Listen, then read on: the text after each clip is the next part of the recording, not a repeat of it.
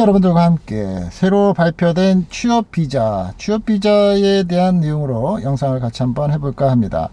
어, 트럼프 대통령 현재의 정권 내에서 여러 차례 얘기가 되어 왔었죠. 취업 비자에 대한 강화 또 법적인 규제가 있었습니다. 결국에서는 법 개정 추진에 대해서 또 한 번의 발표가 돼서 지금 30일간의 유예 기간을 갖도록 지금 예정이 되어 있는데요. 현재로서는 H1B의 무작위 추첨으로 혜택을 주는 부분보다 연봉 수준이 높은 연봉 수준이 높은 사람 위선으로 우선으로 해서 취업 비자를 발급하겠다는 그러한 내용입니다. 연방 국토안보부는 28일 그러니까 어제죠. H1 비자 발급 방식 개정안을 발표를 했습니다. 자, 그 내용이 무엇인지 오늘 영상 한번 관련 있으시고 궁금하신 분들은 끝까지 한번 시청을 하시고요.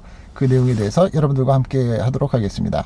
자, H1B 유학생들한테는 가장 근접하고 꼭 필요로 하는 미국에서 스테이하기 위해서 필요로 하는 신분 형식의 비자 종류입니다. 저도 개인적으로는 H1B로 미국에서 사는 시간이 있었고 또한 저희 회사의 직원들을 통해서 H1B의 어, 여러 형태 종류별로 해가지고 각종 포지션으로 해가지고 H1B를 발급을 해주고 있습니다. 자 취업 비자라고 하는 H1B 유학생들한테는 가장 필요로 하는 직종인데 불구하고 현재의 쿼터제라 그러죠. H1B가 1년이면 어, 현재 학사학위 대학을 졸업한 사람들의 현재의 학사 6만 5천 명 그리고 석사는 2만 명을 할당을 해서 토탈 8만 5천 명의 쿼터제를 실시하고 있습니다. 현재로는 추첨비가 어떻게 추진이 되느냐면 추첨제를 하고 있죠. 네, 추첨제를 하고 있습니다. 너무 많은 숫자가 4월 보통 2일서부터 6일간 H1B를 접수를 받게 되는데 너무 많은 사람들이 지원을 하다 보니까 추첨제를 통하고요. 추첨이 됐다 그래서 모두가 성공을 하고 비자에 대한 어프로브가 났다는 것은 아니죠. 그렇지만 이제 추첨제를 통해서 진행을 하고 있습니다. 현재 취업 비자의 연봉은 지역별, 그러니까 state별, 그 다음에 state 내에서도 어떤 city에 따라서 틀리고요. 노동부에서 우리가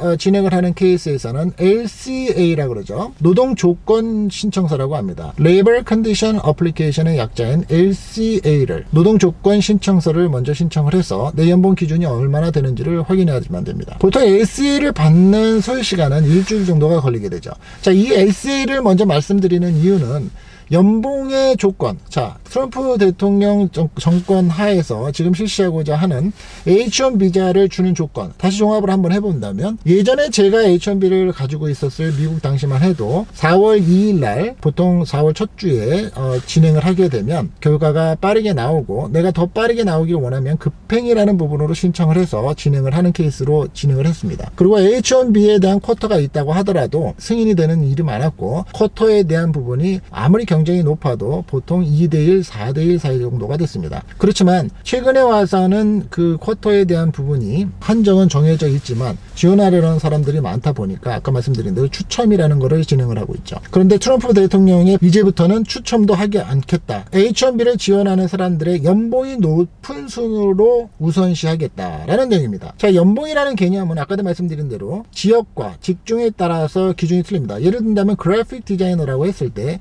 뉴욕 한국에서 그래픽 디자이너가 지원을 할 때의 그 웨이지하고 예를 든다면 다른 어떤 지방 도시라든지 또 어떤 시골의 어떤 주라든지 이런 데에서는 또 income에 대한 wage가 측정이 틀리죠. 이 레벨이라고 그러는데 레벨이 1부터 4까지 있습니다. 1부터 4까지가 있는데 지금까지는 income에 대한 부분이 LCA 아까도 말씀드린 대로 Labor Condition Application에 들어가서 내가 원하는 직종 내가 원하는 포지션에 대한 income이 어느 정도인지를 확인하고 그에 맞춰서 LCA를 통해 가지고 H1B를 진행하는 데 조건으로 맞춰서 들어가면 됐습니다. 그런데 RFE라고 있습니다. RFE라는 부분은 추가 서류 요청이라는 개념으로 받아들이시게 되면 되는데 예전에는 H1B를 진행을 하면서 약간의 서류가 모자르거나 다소 부족함이 있는 부분에 대해서는 RFE라 그래서 추가 서류 요청이 왔고 그 요청 의 서류에 따라서 진행을 제출을 다시 하게 되면 거의 승인이 되는 케이스가 많았습니다. 최근에 와서는 RFE를 통해서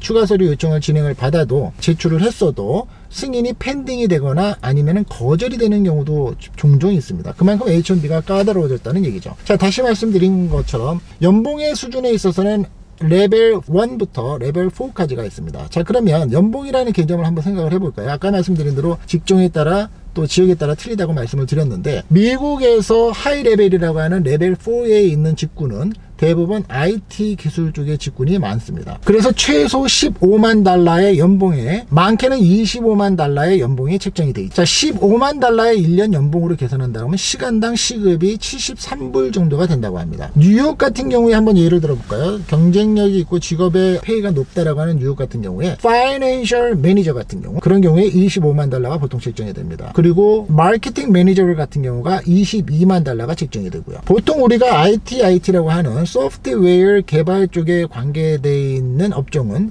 보통 12만에서 14만 정도가 책정이 된다고 합니다. 모든 지역에 따라 기준은 좀 틀립니다. 뉴욕인 경우를 말씀드리는 겁니다. 자 그렇다면 회사 입장에서 아무리 인재가 탐이 나고 회사가 입장에서 아무리 좋은 인재를 영입을 하려고 해도 연봉이 15만 20만 불이 넘으면 굉장히 부담이 되겠죠. 그렇죠?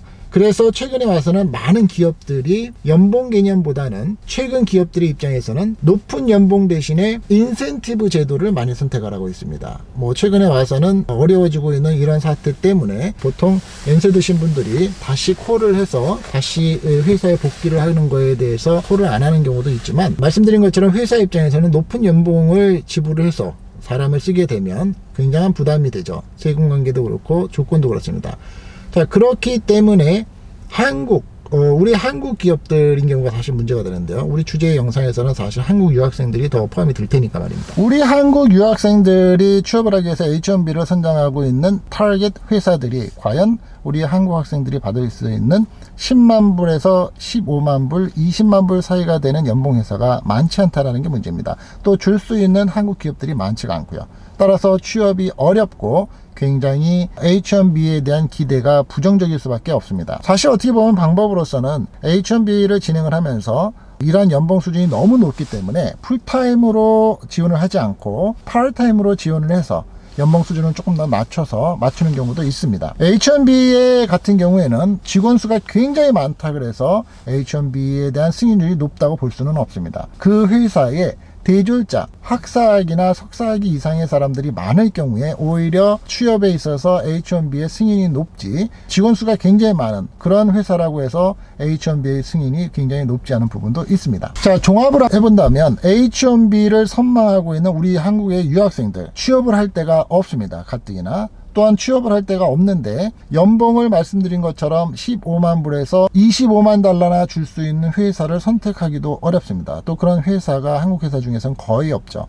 그렇다 그러면 트럼프 대통령 정권에서 마지막으로 현재 추진하고 있는 H1B를 승인하는 조건이 레벨 1에서 레벨 4까지 해서 레벨 4에 해당되는 회사에 지원하고 income이나 연봉이 맞는 사람을 우선순위로 승인하겠다라는 내용입니다. 이해가 되시나요? H1B를 지원을 하거나 관심 있으신 분들한테는 굉장히 굉장히 충격적인 얘기가 될 수도 있죠. 비자를 선택을 해서 어, 우리가 미국에 살기 위해서 스테러스를 가지고 있어야 되는데 그 중에 우리 한국 사람들도 제일 많이 선택을 하고 있는 취업 이민 영주권 다음에 취업 비자 H1B 굉장히 힘듭니다. 연봉 수준을 맞추기도 힘들고 그런 한국 회사가 없기 때문에 미국 회사에 문을 두드려야지만 되는데 미국 회사들조차도 최근에 이런 사태들 때문에 연봉 15만 불에서 5만 불 사이 정도를 맞출 수 있는 회사가 과연 얼마나 될까? 그 사이를 맞추지 못하면 레벨 4까지 올라가지 못하기 때문에 지금 현재까지는 계산상으로 대략 비교를 한다 그러면 레벨 1부터 레벨 4까지 그 사이에 있는 조건에서 서류가 제대로 들어가고 또 조건이 거의 perfect하게 된다면 승인이 되는데 문제가 없었다는 얘기입니다. 하지만 지금 같은 경우에 이런 발표가 된다면 레벨 1에서는 거의 승인이 안 난다는 소리죠. 그리고 레벨 4 정도가 돼야 3나 4 정도가 돼야지만 승인이 다소 안심이 된다는 얘기입니다.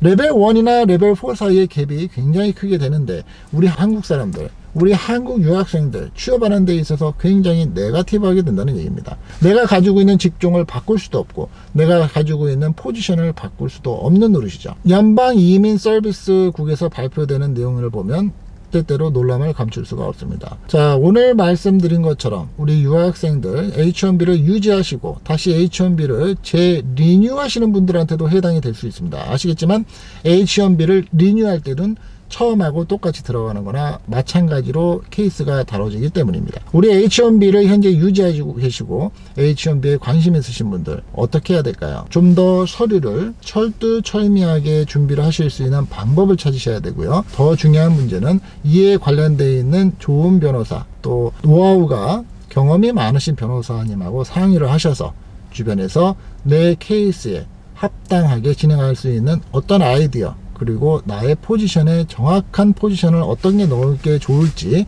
이런 부분들도 상의를 해보시는 게 도움이 되실 거라고 생각을 합니다. 자 오늘 영상 좋으셨으면 구독 버튼 부탁드리고요.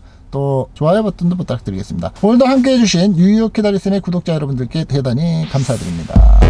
다음 영상 시간에 또 뵙겠습니다. 감사합니다.